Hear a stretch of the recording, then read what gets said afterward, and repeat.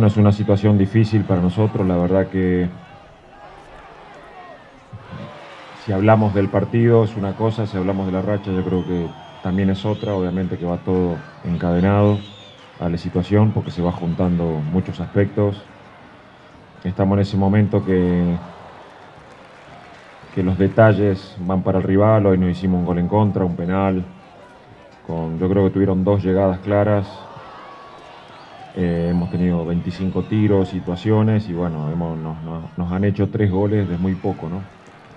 Y bueno, estamos en ese momento que las cosas salen mal. La verdad que mm, sabía de la dificultad de, venir a la U, sabíamos de la.